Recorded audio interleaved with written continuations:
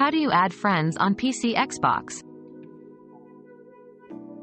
To add friends on your PC Xbox app, open the Xbox Console Companion app, click on the search bar at the top, enter your friend's gamertag, and select Add Friend.